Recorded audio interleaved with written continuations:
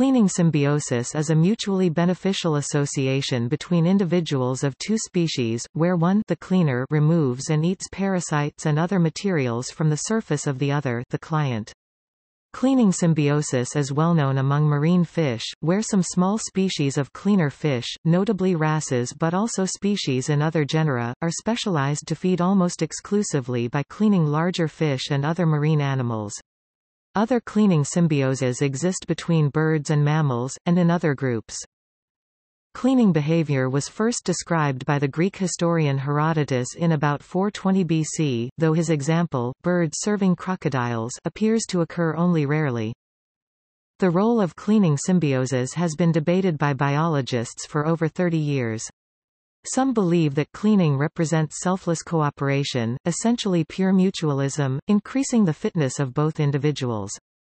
Others such as Robert Trivers hold that it illustrates mutual selfishness, reciprocal altruism. Others again believe that cleaning behavior is simply one-sided exploitation, a form of parasitism. Cheating, where either a cleaner sometimes harms its client, or a predatory species mimics a cleaner, also occurs. Predatory cheating is analogous to Batesian mimicry, as where a harmless hoverfly mimics a stinging wasp, though with the tables turned. Some genuine cleaner fish, such as gobies and wrasse, have the same colors and patterns, in an example of convergent evolution. Mutual resemblance among cleaner fish is analogous to Müllerian mimicry, as where stinging bees and wasps mimic each other.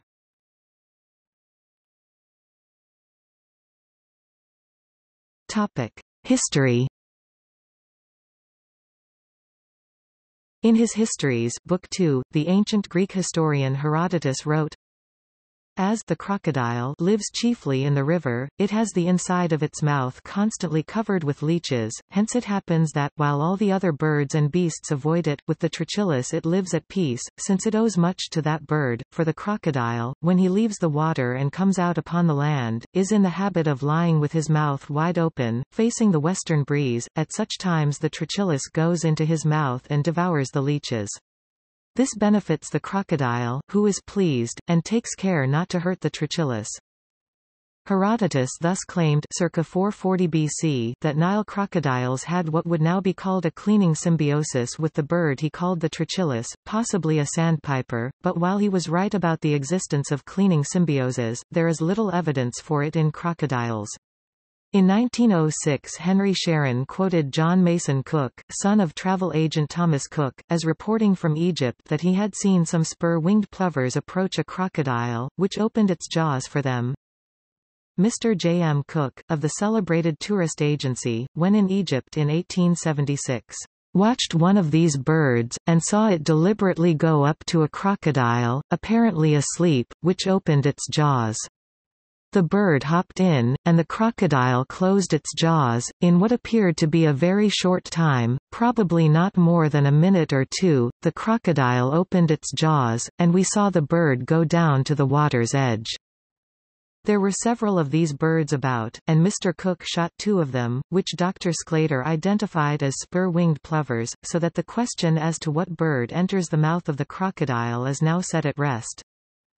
McFarland and Reeder, reviewing the evidence, found that Extensive observations of Nile crocodiles in regular or occasional association with various species of potential cleaners e.g. plovers, sandpipers, water dikkop, have resulted in only a few reports of sandpipers removing leeches from the mouth and gular scutes and snapping at insects along the reptile's body.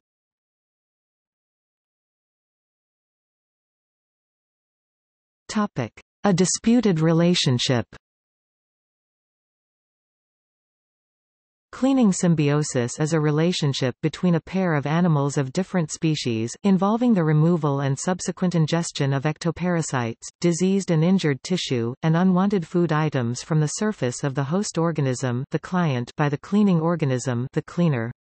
Its status has been debated by biologists, with viewpoints ranging from pure mutualism through to a form of exploitative parasitism by the cleaner. Marine biologist Alexandra Grutter explains, Cleaning associations involve cleaner organisms that remove ectoparasites and other material, such as mucus, scales and skin, from the body surfaces of other apparently cooperating animals. The latter are often referred to as hosts, customers, or clients. Cleaning behavior is one of the most highly developed interspecific communication systems known, with clients striking elaborate postures which have generally been assumed to make ectoparasites more accessible to cleaners.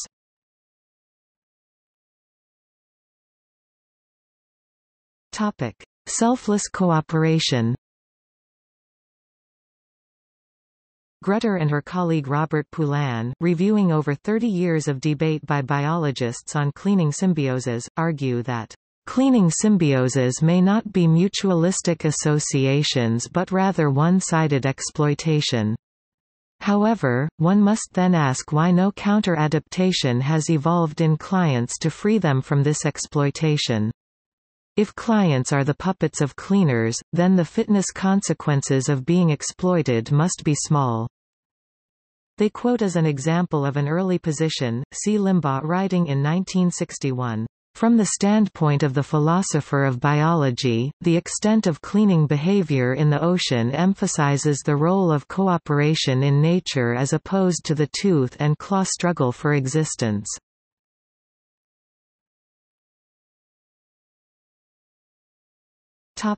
Mutual selfishness. In 1971, mathematical biologist Robert Trivers wrote more carefully, Cleaner organisms and their hosts meet the preconditions for the evolution of reciprocally altruistic behavior. The host's altruism is to be explained as benefiting him because of the advantage of being able quickly and repeatedly to return to the same cleaner.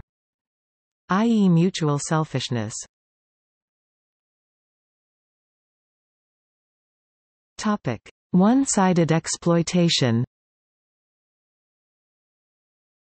By 1987 G. S. Losey wrote less optimistically, "...cleaners are nothing but very clever behavioral parasites that have taken advantage of the rewarding aspects of tactile stimulation, found in nearly all vertebrates."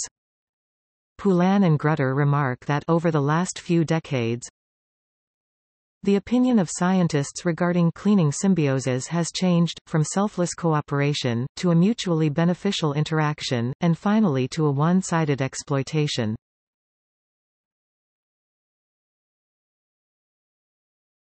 Topic. Biological range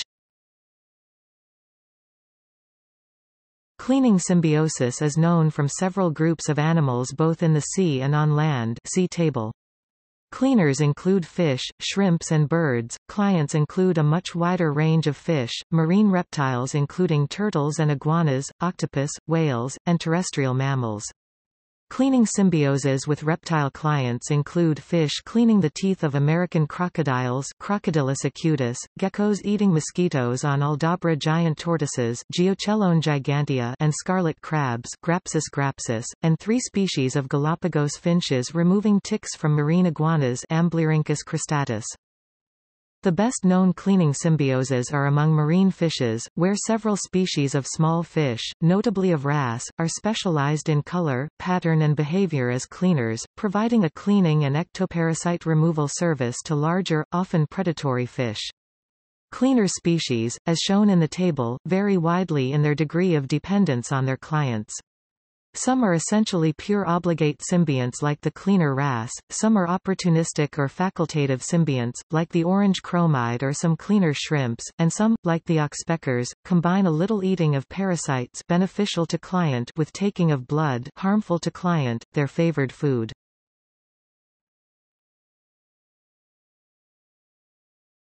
Topic. Mimicry among cleaner fish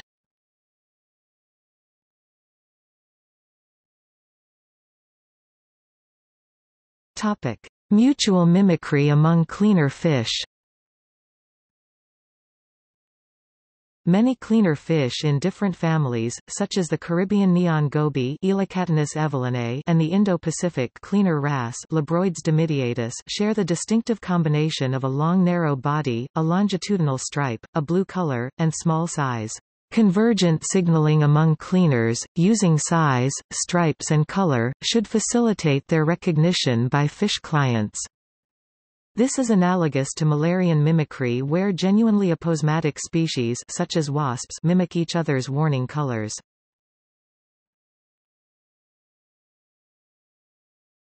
Topic: Aggressive mimicry of cleaner fish by blennies. The saber-toothed blenny Aspidontus is a predatory blenny, an aggressive mimic which accurately resembles the bluestreak cleaner wrasse, not only in color and pattern, but also in the ritualized dance the cleaner wrasse makes when potential client fish swim nearby. However, instead of providing the cleaning service that it signals, it bites off pieces of healthy skin, scales and mucus from the host and then swims rapidly away to safety.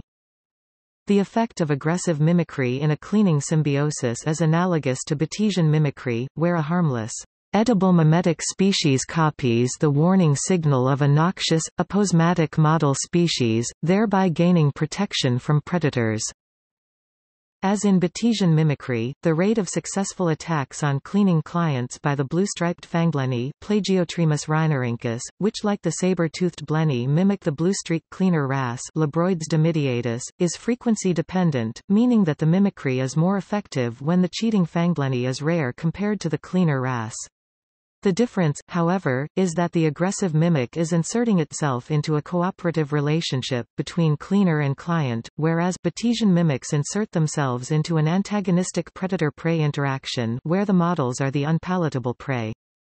Quote, the fangblenny has evolved an opioid-containing venom which dulls pain and lowers blood pressure, confusing the bitten host and giving the cheating mimic time to escape.